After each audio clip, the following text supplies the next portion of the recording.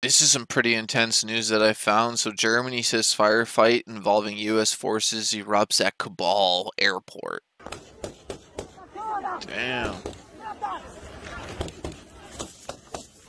Listen to all the gunshots.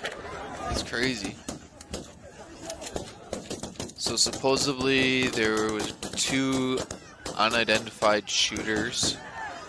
Uh, one was a sniper that started sniping Afghan soldiers, and another guy that just started opening fire.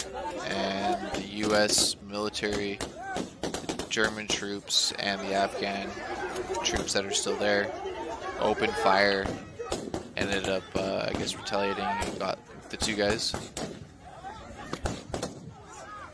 But the article was saying, uh, amongst all the confusion, the U.S. soldiers accidentally shot some of the Afghan soldiers. And look at that, that's crazy. There's like families and children and stuff. Oh my god, and they're just like shooting and stuff. Look at that. That's just insane. That's really sad and terrible, and my heart and my prayers go out to everybody that's being impacted and affected by this. Yeah, I came across this and I wanted to share with everyone. Let me know your thoughts and opinions about this in the comments Thanks for watching, everyone. Stay safe. God bless you all. Take care and peace out.